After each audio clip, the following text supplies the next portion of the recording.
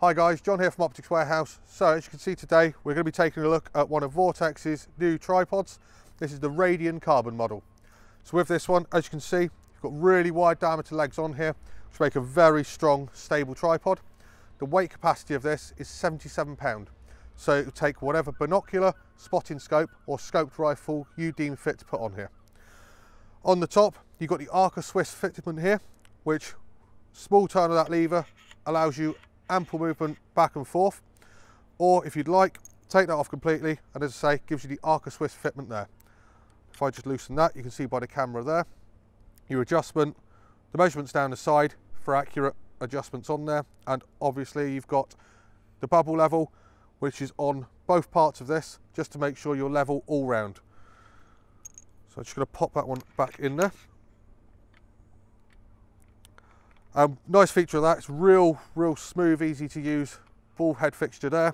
And with a quick, simple tighten there, it is rock solid and very, very difficult to move after that. So it gives you a real stable shooting platform.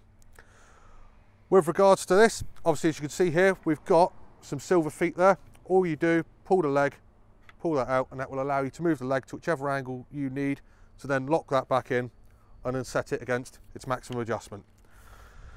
So the feet on this, you've got rubber feet for hard standing surfaces and it also comes with spiked feet as well. So soft ground like we're on today, you set that up on there, put the spiked feet on, especially if you want to make the uh, most of your counterbalance hook here. So it makes a very, very stable platform, which you can't easily knock over or move without wanting to.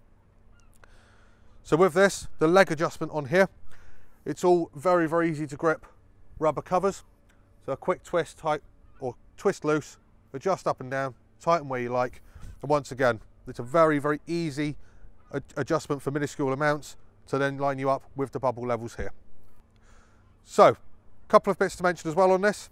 Maximum height. The maximum height of this is 64 inches. Now we haven't got this anywhere near the maximum height at the moment. If we did, it literally is up my head height. So unless you're going to be shooting with a tripod at a lower level, the maximum height is tall enough for 99% of people out there. The minimum height available with this, which obviously for your prone shooting, is 7.75 inches. So once again, really nice and low, and that's with the legs out nigh on flat, and it gives you an unbelievable stable shooting platform. If you really think a bipod is stable, you really need to try shooting off of one of these rests on its flat setting and just seeing how much it cuts out any movement and wobble from having that tripod, as I say, on that flat setting. So what does it come with? You get a toolkit in the bag as well.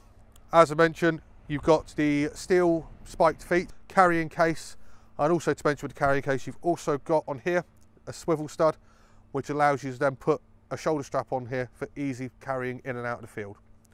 You do also have a soft padded case for it to make it that bit more comfortable in carrying long distance or to protect it when it is in the boot of your car. But that sums up the Vortex Radian tripod. Hopefully that's answered all the questions that you have about it, but if there's anything you feel I've missed or something you'd like me to go over in more detail, please feel free to leave us a comment or give us a call. Thanks for watching.